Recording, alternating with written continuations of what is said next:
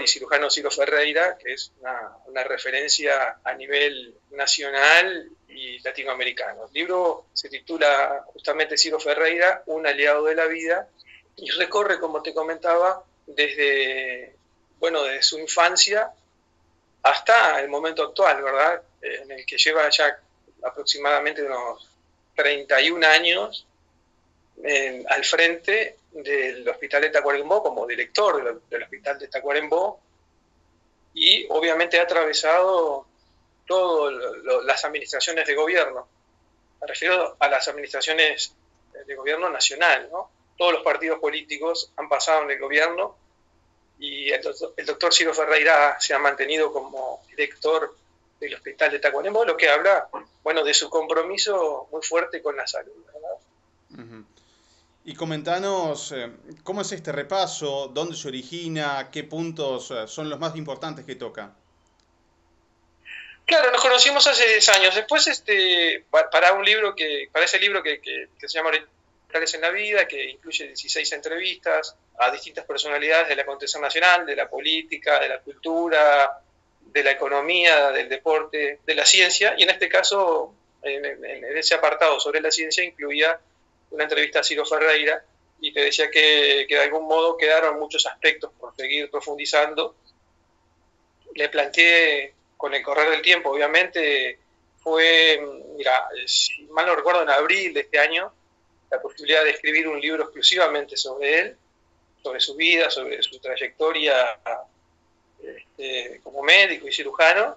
Él en primera instancia, con humildad y con amabilidad, me dijo que no, que que no lo veía conveniente.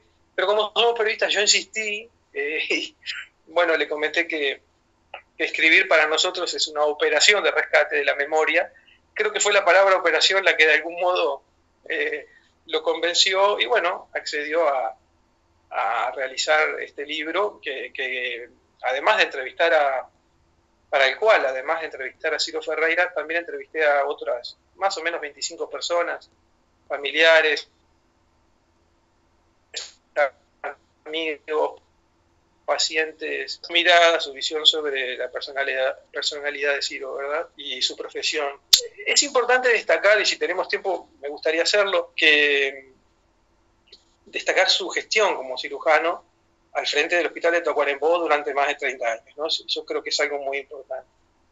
Eh, la institución en ese periodo se ha convertido en un centro de salud de referencia a nivel nacional y también latinoamericano.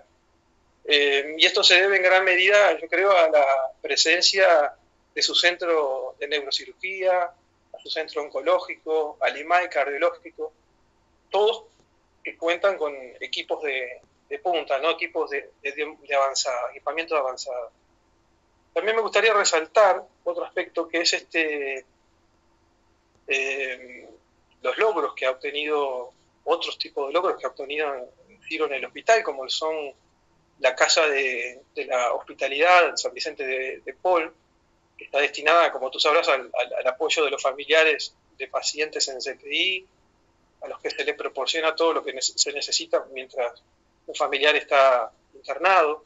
Asimismo, es destacar la Casa Ronald McDonald, que acoge a padres y madres de niños que reciben atención ambulatoria, así como embarazadas en riesgo este, que pertenecen a la zona norte del país y necesitan permanecer cerca del centro hospitalario. Y algo que también me llama la atención, siempre me ha llamado la atención, es que eh, Ciro Ferreira, el doctor Ciro Ferreira, siempre habla de que la clave es el equipo. Lo dicen y en el libro y también es, parte del título del libro. Y es verdaderamente así porque eh, él le ha dado mucha preponderancia a quienes trabajan junto a él en el hospital, ¿verdad? Eh, por otro lado, en el libro abordamos también la conexión de Ciro con el grupo cultural de Tacuarembó, que este, estuvo integrado, entre otras figuras, por Washington Benavides, recordado Washington Benavides, y también se destaca el gusto de Ciro por la, fotografía, su gusto refinado por la pintura, dos aspectos que, que bueno, que quizás no sean tan conocidos, pero que, este, bueno, tratamos de reflejarlo en en el libro. Bueno, no sé, considero que todos estos aspectos que, te he enumerado de algún modo demuestran que Ciro Ferreira es, como, como dice el título, un aliado de la vida, ¿no? En todos sus sentidos. Bien, y a lo largo de estos días se estará presentando el libro en diferentes lugares. Exacto, sí. Eh, en primera instancia se presenta mañana, mañana 22, en la Facultad de Medicina, acá en Montevideo, a las 19 horas, este, con, la presencia, eh, suponemos que del director, presidente del directorio de ACE, Leonardo Cipriani, eh, bueno, con la presencia en, en la parte oratoria del doctor Turnes, Antonio Turnes, que fue quien escribió el prólogo del libro y a quien también le tengo que agradecer muy, muy especialmente.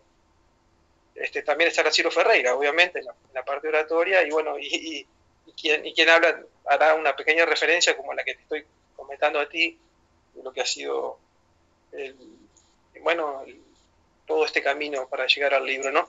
Después va a haber otra presentación ya en Tacuarembó el 5 de diciembre en el Club Tacuarembó, también a las 19 horas y esperamos que bueno que allí la concurrencia también sea masiva porque hay algo que me gustaría destacar y que no lo dije y es que todo lo recaudado por la venta del libro será destinado a los pacientes con cáncer del norte del país.